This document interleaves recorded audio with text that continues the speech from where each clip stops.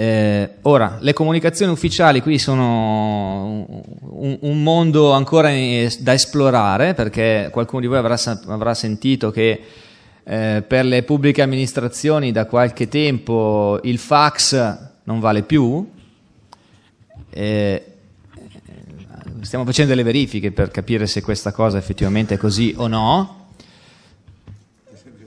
Eh, noi ci siamo portati avanti già da agosto, abbiamo detto che questa richiesta deve arrivare attraverso posta elettronica certificata da, un'autorità di protezione civile, quindi dal comune, che, che la manda alla provincia. Il passaggio comune-provincia non è obbligatorio che sia attraverso posta elettronica certificata, ma dalla provincia sicuramente sì.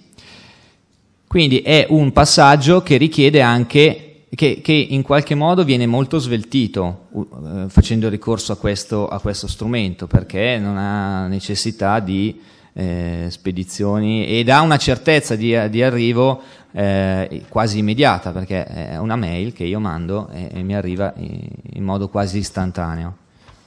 Chiaramente abbiamo dovuto tener conto di alcuni aspetti organizzativi perché nei fine settimana non è detto che ci sia disponibilità di, accedere, di, accesso a questi strumenti e quindi abbiamo detto se capita nel fine settimana, il primo giorno possibile successivo o durante un giorno di festa, però l'importante è che la sala operativa regionale attraverso le province sia a conoscenza dell'attivazione, della necessità della, della concessione di questi benefici di legge.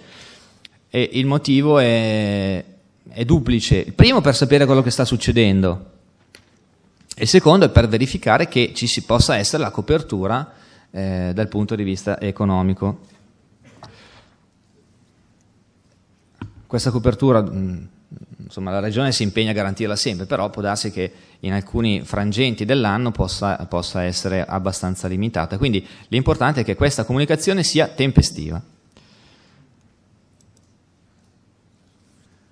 Le attivazioni riguardano la direttiva del 911-2012 introduce a fianco alle, alle, alle, emergenze di livello locale per le quali non cambia niente, cioè cambia solamente il destinatario della richiesta che non è più Roma ma è Milano attraverso la provincia.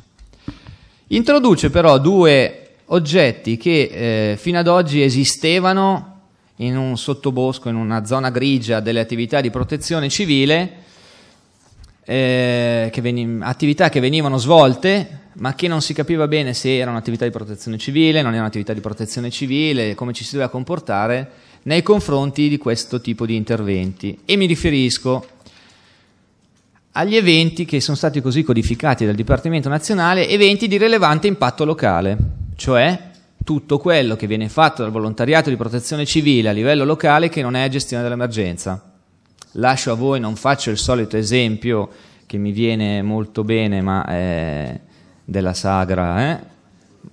mi riferisco a questo, piuttosto che alla manifestazione sportiva.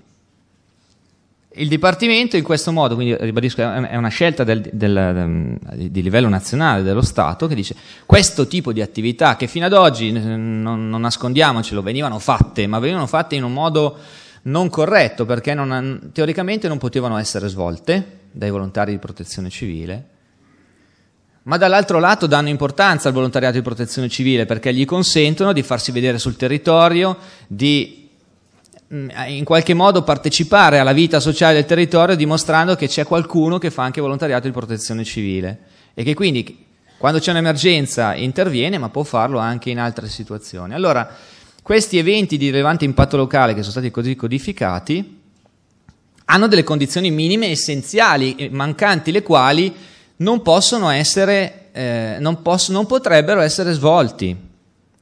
E quali sono queste condizioni? E qui mi, ricollego all'intervento di Nadia Padovana al mio inizio di, di intervento. L'esistenza di un piano di emergenza comunale, non solo di un piano di emergenza comunale, di un piano di emergenza comunale che abbia all'interno dei propri scenari la descrizione di quello in cui si chiede ai volontari di operare.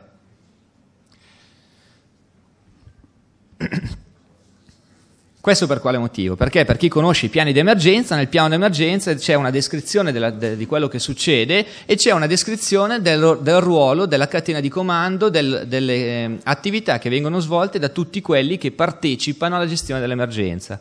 Qui non si tratta di un'emergenza, si tratta di un altro tipo di evento, ma la sostanza non cambia. Quindi nel piano d'emergenza ci deve essere la descrizione di quell'evento, che può essere di due tipi, può essere un evento ricorrente. Io faccio sempre l'esempio della, del carroccio a Legnano perché mi viene comodo territorialmente. Il carroccio a Legnano c'è tutti gli anni. Quindi il, il, comune di Legnano dovrebbe nel suo piano d'emergenza prevedere lo scenario carroccio, quale, nel quale descrive che cosa succede, tutti quanti lo sanno, ma una descrizione minimale di quello che succede e dire in questa situazione io comune dichiaro che quello è un evento di rilevante impatto per la mia comunità e quindi attraverso questa dichiarazione prevedo l'impiego del volontariato di protezione civile a cui faccio fare questo, questo, questo e questo al di sotto del coordinamento di qualcuno che è titolato a quell'attività. Quindi, discorso storico della viabilità. I volontari possono fare o non fare viabilità? Diciamo che fanno assistenza lungo le strade alla popolazione sotto il coordinamento di chi? Della polizia locale, della polizia stradale, dei carabinieri, di chi è tenuto allo svolgimento, al controllo della viabilità. Non usano la paletta, e chi, è, chi, viene beccato con la paletta in mano viene applicata la Sharia e gli viene mozzato il braccio immediatamente. No, non sto scherzando, eh, ha, delle, ha delle conseguenze anche penali l'utilizzo della paletta. Quindi è una, una esortazione che faccio, non si usa la paletta, neanche se ve la dà in mano l'agente di polizia locale. Questo è, è fuori discussione. Così come non posso fermare le macchine, ma posso svolgere tutta una serie di attività di aiuto, di supporto alla fluidità del traffico. L'importante è che ci sia la presenza di qualcuno che coordina la mia attività e che questo sia scritto e descritto con precisione nel piano d'emergenza comunale, altrimenti io mi rifiuto di farlo.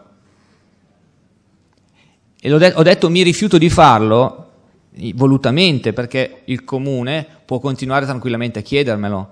Qua ci spostiamo sull'altro lato, chiedere lecito, domandare lecito, rispondere cortesia, rifiutarsi è un dovere nel momento in cui non ci sono le eh, garanzie previste dalla legge.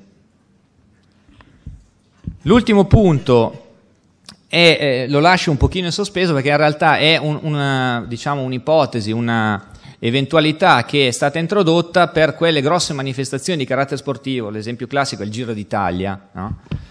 Dove eh, viene chiesto un impegno a volte anche molto gravoso al volontariato di protezione civile. Allora lì si dice, cara società che organizzi l'evento e che quindi fai un lucro su quell'evento, partecipa un pochino alle spese, anziché utilizzare la security privata, io ti, ti, ti, ti concedo eh, l'utilizzo del volontariato di protezione civile con i compiti descritti nel piano d'emergenza comunale e tu partecipi alle spese.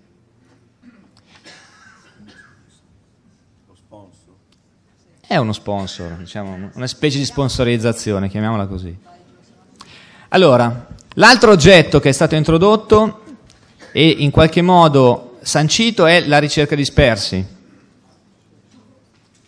che in alcuni periodi dell'anno è diventato ormai, uso dire, il core business della protezione civile tra il mese di agosto, da quando abbiamo introdotto questo nuovo sistema, e il mese di gennaio è l'evento per il quale con più frequenza ci è stato chiesto l'impiego dei volontari di protezione civile. La legge 203 del 2012 è precisa in questo senso perché spiega bene bene chi sono le competenze, di chi sono le competenze sulla ricerca dei dispersi, così come la 74 2001 per le ricerche in ambiente impervio. Ok? Questo sono delle prescrizioni di legge, quindi volontariato di protezione civile non fa altro che dare un supporto a chi è competente per, secondo queste leggi. La direttiva lo ribadisce e dice attenzione, ci sono delle situazioni in cui è già chiaro a chi tocca fare la ricerca dispersi, in prima battuta, se questi da soli non ce la fanno e chiedono un supporto specifico, motivato del volontariato di protezione civile, non mi mandi 100 volontari così, perché mi servono per fare la ricerca dispersi, ma ti chiedo i volontari in numero adeguato per fare queste attività. con il coordinamento di un'autorità presente sul posto, di una di quelle previste dalla 203, dalla 74 e dalla direttiva, che sta lì, comanda l'azione del volontariato, la organizza, dice ai volontari cosa devono fare, dove devono andare cosa devono cercare, ne rileva la presenza, nome, cognome sul campo e trasmette quella presenza alla provincia attraverso la quale deve chiederne l'attivazione. Quindi comunque l'autorità deve passare dalla provincia per chiedere l'impiego del volontariato, che sia la prefettura, che siano i carabinieri, che siano i vigili del fuoco, che sia il 118, che sia il soccorso alpino, chiunque è titolato alla ricerca dispersi, se vuole attivare i volontari di protezione civile deve passare dalla provincia. È la provincia che gli manda i volontari. Poi che questa attivazione possa essere fatta telefonicamente per accelerare la tempistica, anche se teoricamente io il disperso incomincio a, secondo quanto previsto dalla legge, incomincio a cercarlo dopo 48 ore. Trattandosi di un vecchietto con l'Alzheimer, magari le 48 ore non si fanno passare, o se è un bambino. Però l'attivazione deve seguire un processo che sia anche di garanzia nei confronti del volontariato di protezione civile, cioè questa cosa non è stata messa in piedi per dare eh, eh, una, un ruolo ai burocrati della pubblica amministrazione, ma è, è fatto per dare una garanzia al volontariato di protezione civile che poi non, non, possa essere accusato, come è capitato in passato, di aver sbagliato nella ricerca del disperso. Quindi questo deve essere chiaro Chiudo su questo argomento.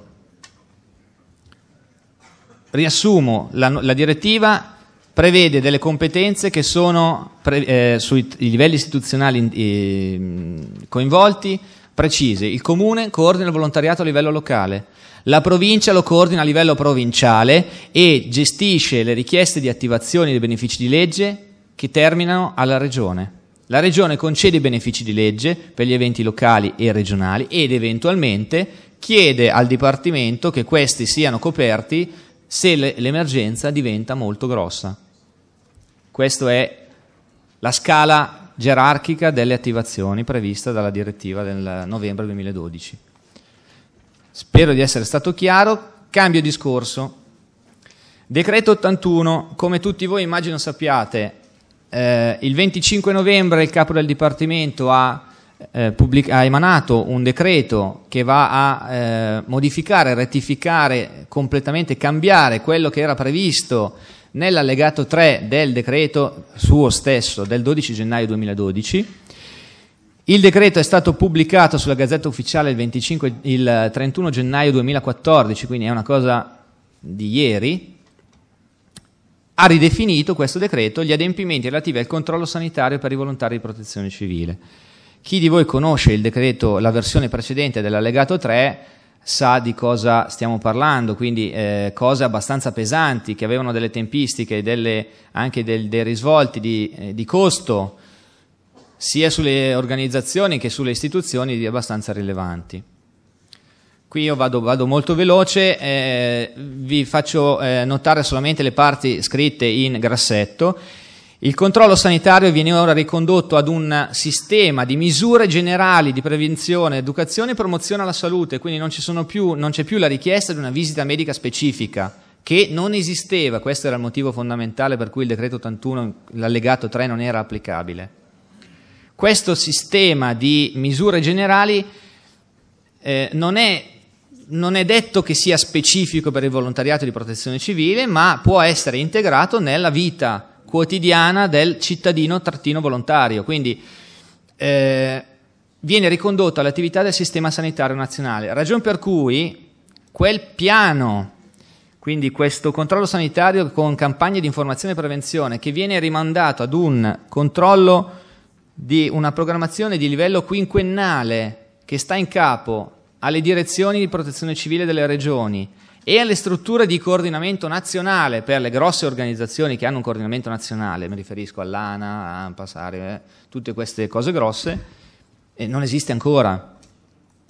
È un discorso che nasce, è partito il 31 di gennaio di quest'anno e deve essere costruito, che noi inizieremo a costruire a breve con i colleghi della direzione sanità per capire come nell'ambito delle eh, campagne di previsione e prevenzione medica sul territorio possano essere magari eh, individuati dei momenti dedicati ai volontari di protezione civile oppure eh, per cui i volontari di protezione civile possono essere agevolati nell'adesione a queste campagne di controllo sulla glicemia, eh, l'ictus, insomma tutte campagne sanitarie che sono normalmente eh, messe in piedi al, dal sistema sanitario nazionale.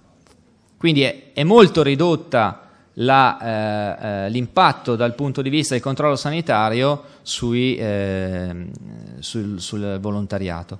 Rimangono quelle prescrizioni rigide su chi sfora eh, i, i, periodi, eh, quindi la, la, ehm, lo svolgimento di attività a rischio per un certo periodo di tempo, ma è, è, una situazione praticamente irrealizzabile perché sono periodi di tempo che vanno al di là dell'impiego annuale consentito per i volontari di protezione civile, quindi è uno che quasi lo fa di lavoro questa, questa attività. E rimangono le prescrizioni per, gli, per chi fa IB, che invece sono eh, prescrizioni sancite dal piano regionale eh, di prevenzione, adesso eh, torno, vado avanti, ecco, poi torno indietro, sono regolate dal piano regionale di attività di previsione e prevenzione della lotta agli incendi boschivi, tra l'altro recentemente approvato e eh, aggiornato in Regione Lombardia. Quindi per i volontari AIB una cosa, c'è una cosa a parte, un percorso di controllo sanitario già, eh, già eh, previsto torno un attimo alle, a cosa aspetta ai, ai, ai responsabili delle organizzazioni. Eh, I responsabili delle organizzazioni hanno il, hanno il compito di, quando ci saranno queste campagne che ad oggi non esistono, di registrare la partecipazione di tutti i volontari a queste campagne. Questo è, sarà uno dei requisiti che verrà chiesto per il mantenimento dell'idoneità tecnico-operativa, cioè eh, con le, le attestazioni che tutti i volontari hanno aderito a queste campagne di controllo sanitario.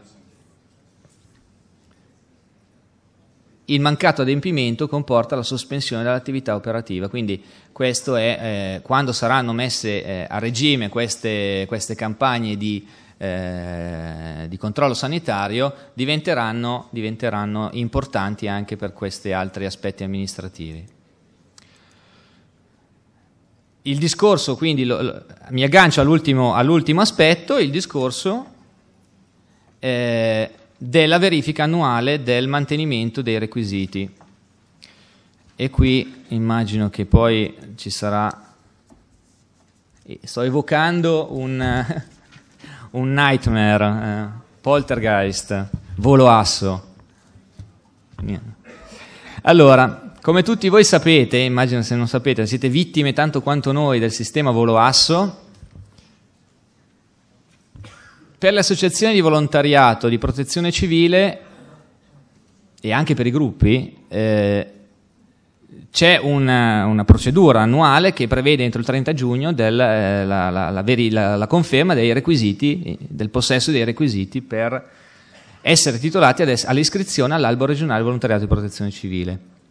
Questo, eh, questa verifica avviene attraverso due sistemi informativi, il sistema eh, volo asso che è, è più eh, orientato alla parte amministrativa e il sistema di Bivol che invece più, eh, segue più gli aspetti di carattere operativo e tecnico.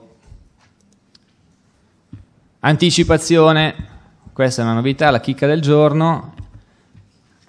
Il 4 di aprile Volo Asso riapre. Quindi, a differenza dell'anno scorso, quando il sistema è stato aperto un solo mese e ha generato una serie di criticità notevoli, quest'anno abbiamo anticipato l'apertura. Quindi, il 4 di aprile e io vi esorto, fatelo subito, non aspettate la scadenza del 30 di giugno. Entrate subito in volo asso e se siete in grado di farlo, procedete col mantenimento dei requisiti, perché questo ci serve per evidenziare eventuali magagne informatiche che nel corso di questi mesi non si è riusciti a risolvere completamente. Sappiamo benissimo quali sono le problematiche che ha generato questo sistema nel, nello scorso anno. Purtroppo dal punto di vista tecnico-informatico non è stato possibile sostituire il sistema, anche dal punto di vista economico, non è stato possibile sostituire il sistema per quest'anno, quindi ancora per il 2014 ci dobbiamo confrontare con volo asso. A differenza, una noticina a margine, a differenza del 2013, CSV quest'anno non saranno disponibili come, come lo scorso anno a dare un supporto se non a pagamento, perché l'anno scorso avevano una convenzione, quindi non li, non li pagavano le organizzazioni di volontariato, li pagava la regione i CSV. La convenzione quest'anno è scaduta, quindi chi si rivolge al CSV sappia che lo fa a pagamento.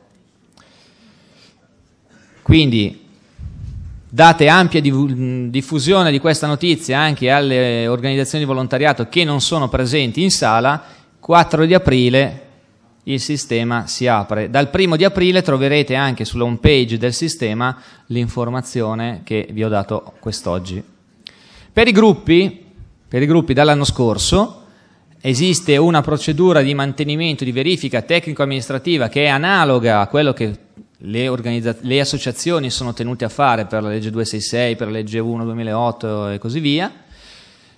C'è questo decreto del 30 maggio 2013 che ha approvato una modulistica che deve essere utilizzata, compilata e trasmessa alle province per la verifica annuale del mantenimento dei requisiti tecnico-operativi per i gruppi comunali. La scadenza è sempre la stessa, 30 giugno. Eh, Mm, quando probabilmente riusciremo a sistemare gli aspetti tecnici informatici di volo asso, anche la modulistica per i gruppi comunali che al momento è in formato cartaceo verrà migrata sul sistema informatico attraverso non più volo asso ma attraverso il database del volontariato. Quindi eh, il DBVol conterrà un piccolo moduletto che consentirà di compilare online la modulistica per il mantenimento dei requisiti dei gruppi comunali, mentre le associazioni fino a controordine continueranno ad utilizzare volo asso. Purtroppo non siamo riusciti a far parlare insieme i due sistemi per i dati che condividono. Ci abbiamo provato, io vi, vi giuro che ci abbiamo provato e, tante volte e Nadia Padovan può testimoniare le, gli sfoghi che ogni tanto eh, io ho suoi, nel suo ufficio su, su Volo Asso e stiamo cercando di capire se per il 2015 questo colloquio tra i due sistemi sarà possibile, quindi perlomeno si eviterà di dover compilare i dati due volte. Vi ricordo che proprio per questo motivo eh, chi va a modificare i dati in volo asso poi lo deve fare anche nel dbvol perché altrimenti i dati non sono allineati. Quindi prima sistemate volo asso e poi gli stessi dati che avete eventualmente modificato in volo asso li andate a modificare nel dbvol proprio per evitare che poi ci siano dei disallineamenti. Noi quando faremo l'istruttore quindi al 30 di giugno durante il mese di luglio faremo le verifiche le province andranno a fare questa verifica confronteranno i dati comuni e vedranno se ci sono delle discrepanze, però se voi già fate questa, eh, questa cortesia in partenza di allineamento dei, due, dei, dei dati, eh, ci, ci, accelerate le, le, le pratiche di, di, istruttoria. Chiudo con una minaccia. Il mancato rispetto della verifica dei requisiti sia su Volo Asso che sul DBVOL è passibile della cancellazione dall'albo regionale So che alcune province in questi giorni hanno provveduto alla cancellazione di alcuni gruppi e associazioni che non hanno provveduto a questa, poi eh, chiaramente hanno fatto la loro istruttoria, contraddittoria, quindi ci sono delle motivazioni diciamo più gravi probabilmente alle spalle, eh, è una minaccia tra virgolette, è un'esortazione, ricordatevi che questa è una, una, pre, una previsione per le associazioni non nostra una previsione di legge, per i gruppi comunali eh, lo è diventata dal, da quando sono stati allineati giustamente alle associazioni con cui condividono la partecipazione al sistema.